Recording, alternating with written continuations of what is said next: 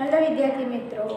આપણે ધોરણ ત્રણ, વિષય પર્યાવરણના પાઠ વીસ. કેટલા રે કેટલા? તો આપણે આગળના પાઠમાં બધા પરિવાર વિશે વાત કરી, કુટુંબ વિશે વાત કરી એ કેટલા રે કેટલા રમત વિશે વાત કરી.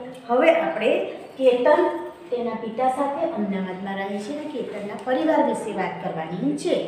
કેતન તેના પિતા કાકા પિતા, કાકા અને પિતરાય ભાઈઓ સાથે અમદાવાદના કોલોનીમાં રહે છે, બરાબર? કેતન અને તેના પિતા, તેના ભાઈઓને અમદાવાદમાં ભણવા માટે આવવું પડ્યું. તેના પિતા અને કાકા અહીં કામ કરે છે, બધા ભેગા મળીને ઘરકામ કરે છે. તેના કાકા રસોઈ બનાવે છે અને કાકાની બનાવેલી રસોઈ બધાને ખૂબ જ પસંદ છે.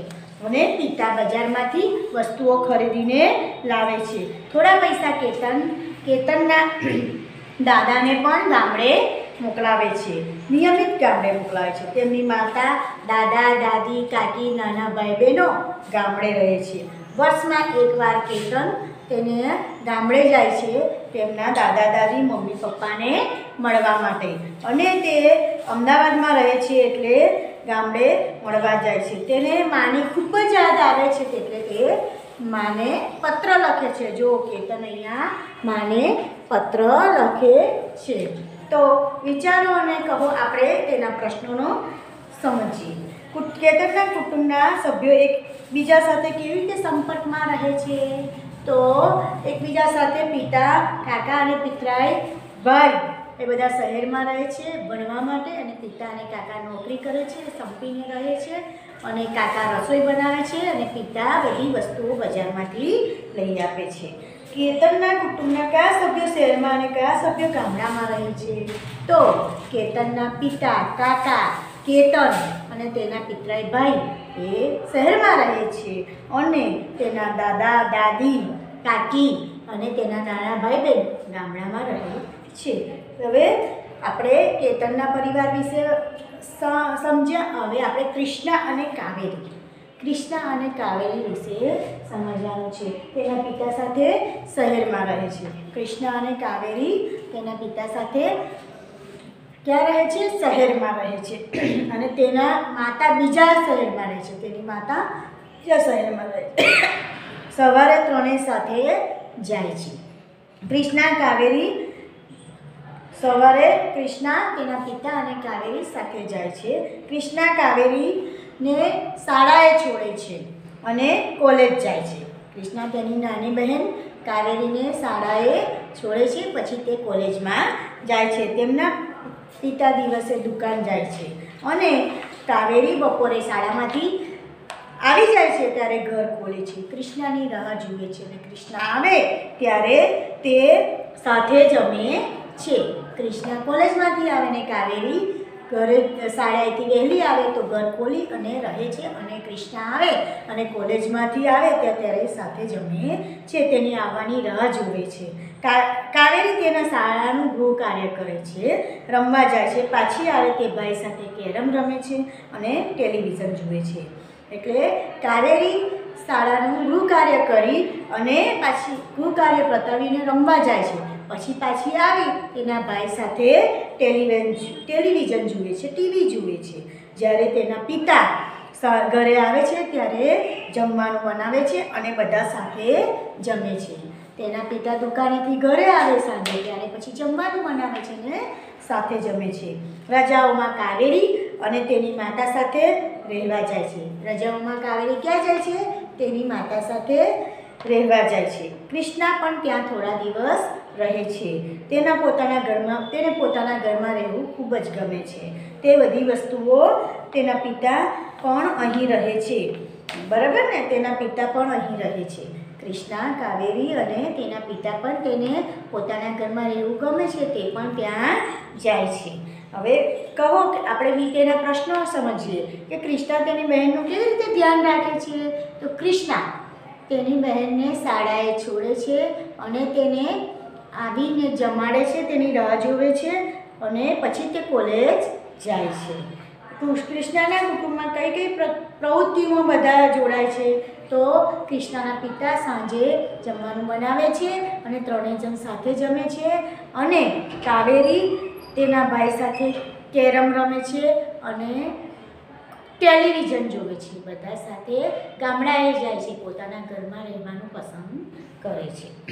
કેટલાક કુટુંબો વિશે વાંચ્યું અને પ્રશ્નોની આપણે ચર્ચા કરી. કુટુંબના કેવા કયા પ્રકાર છે તે પણ આપણે જોયા અને નક્કી કરી શકાય. તો આપણે આ પ્રશ્નો દ્વારા આપણે થોડો સમજીએ અને વાક્યની સામે સાચું કરીએ. ઘરના બધા સભ્યો કામ કરે છે? શું બધા ઘરના સભ્યો કામ કરે છે? તો હા, તો પપ્પા અને દાદા, કાકા વગેરે બહાર કામ જાય છે, કામ કરે છે અને પૈસા કમાય છે, અથવા નોકરી કરે છે, કોઈ ધંધો કરે છે, એ કામ જ કહેવાય. અને પૈસા લાવે છે અને ઘરમાં મદદ કરે છે. જ્યારે મમ્મી, કાકી, દાદી ઘરનું કામ કરે છે. કુટુંબના સભ્યો એકબીજાને ખૂબ જ ચાહે છે. હા, તે ખૂબ જ ચાહે છે. કુટુંબના સભ્યો ઘર, કુટુંબના સભ્યો મોટે ભાગે એક જ ઘરમાં સાથે રહે છે. તો હા, સાથે રહે છે. કોઈ નાનું કુટુંબ હોય, શહેરમાં કમાવા માટે, ભણવા માટે જાય, પરંતુ તે વર્ષમાં એકવાર તો સાથે રહે છે. ઘરના વડીલો જ કામ કરીને નાના મેળવે છે. તો હા, છોકરાઓને ભણાવ મોટા હોય, કાકા હોય દાદા હોય, પપ્પા હોય, બધા જાય અને પૈસા મેળવે અને ઘરના ત્યાં આપણે સાચું કરવાનું છે. પૈસા લાવે, નાના બાળકોને ભણાવે, ઘરમાં ચીજવસ્તુ લાવે, પછી દાદા દાદીનું ધ્યાન રાખે, બરાબર? કુટુંબના સભ્યો મોટાભાગે એકબીજાને મળવા આવતા હોય છે. હા, શહેરમાં રહેતા હોય, ભણવા માટે, નોકરી કરવા માટે, તો વર્ષમાં એકવાર ગામડે આવે અને બધા ભેગા મળે છે. કુટુંબના સભ્યો તેમની વચ્ચે લડાઈ થાય તો પણ સાથે રહે છે. હા, એ તો નાની મોટી વાતચીતમાં થઈ જાય લડાઈ લડાઈ. પણ પછી તો એ સાથે જ રહે છે અને સાથે જ જમે છે. કુટુંબના ખાસ કરીને બાળકોને વૃદ્ધોનું ધ્યાન રાખવામાં આવે છે. હા, કુટુંબમાં વૃદ્ધોને મમ્મી હોય કે મોટી બહેન હોય કે આપણે મોટા હોય તો દાદા દાદીનું ધ્યાન રાખીએ છીએ અને નાના બાળકોનું પણ ધ્યાન રાખીએ છીએ. તો અહીંયા તમારે આ જગ્યા આપી છે, ત્યાં તમારે કુટુંબ, તમારા કુટુંબ વિશે લખવાનું છે. બરાબર ને?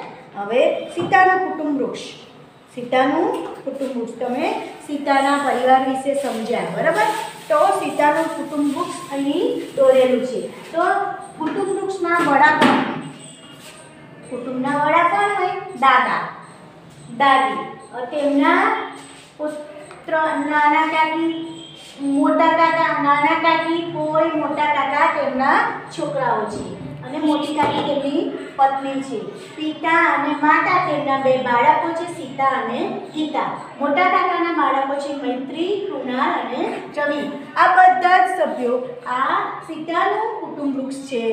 એ બધા સભ્યો સાથે રહે છે. આ આ સીતાનું કુટુંબ વૃક્ષ છે. હવે તમારે પણ અહીંયા પાન નંબર પર એકસો તેતાલીસ આપ્યું છે. ત્યાં તમારે અહીંયા કુટુંબ વૃક્ષ દોરવાનું છે, મોટા દાદા અને દાદીને પૂછીને. હવે આપણે થોડા પરિવાર વિશે સમજ્યા. તો એમાં આપણે તફાવત સમજવાનું છે. સંયુક્ત કુટુંબ અને વિભક્ત કુટુંબ. સંયુક્ત કુટુંબ. અને સંયુક્ત કુટુંબમાં કોણ કોણ સાથે રહે છે? તો સંયુક્ત કુટુંબમાં દાદા, દાદી મમ્મી, પપ્પા, ભાઈ, બહેન, કાકા, કાકી, ફોઈ, પિતરાઈ ભાઈ બહેન સાથે રહે છે. સંયુક્ત કુટુંબમાં. સંયુક્ત એટલે બધા ભેગા મળીને રહે તેને સંયુક્ત કુટુંબ કહેવામાં આવે છે. વિભક્ત કુટુંબ. વિભક્ત કુટુંબ એટલે ખાલી મમ્મી, પપ્પા અને બે બાળકો રહે તેને વિભક્ત કુટુંબ કહે. ચાર કે પાંચ જણ રહે તેને વિભક્ત કુટુંબ કહે. સંયુક્ત કુટુંબમાં કામનો બોજ રહેતો નથી. સંયુક્ત કુટુંબમાં તો દાદા દાદીનું ધ્યાન રાખવા, દાદા દાદી નાના બાળકોને સાચવે અથવા તો મમ્મી, પપ્પા અને કાકા બંને જણ સાથે કમાઈને ઘરમાં ચીજવસ્તુઓ લાવે, ઘરમાં કમાણી થાય વધારે અને કાકી, મમ્મી વગેરે ભેગા મળીને ઘરનું કામ કરે અને બધાનો કામનો બોજો રહેતો નથી અને કામ વેચાઈ જાય છે. જ્યારે વિભક્ત કુટુંબમાં કામનો બોજો રહે છે. પપ્પા એકલા કમાય અને મમ્મી ઘરનું એકલું જ કામ કરે અને બાળકોને પણ સાચવે. આમ વિભક્ત કુટુંબમાં કામનો બોજો રહે છે અને સંયુક્ત કુટુંબમાં કામનો બોજો રહેતો નથી. વિભક્ત કુટુંબમાં કામનો બોજો રહે છે. તો વિદ્યાર્થી મિત્રો, આપણે પાઠ વીસ કેટલાને કેટલા સમજ્યા? તેમાં પરિવાર, કુટુંબ અને રમત વિશે વાત કરી અને કે કુટુંબના પ્રકાર આપણે સમજ્યા. તો હવે આગળના, હવે આ પાઠ અહીંયા પૂર્ણ થાય છે. હવે આ પાઠનો આના પછી એનો ટેસ્ટ, વીસ માર્ક્સનો ટેસ્ટ મોકલવામાં આવશે તો નમસ્તે બાળ મિત્રો મિત્રો.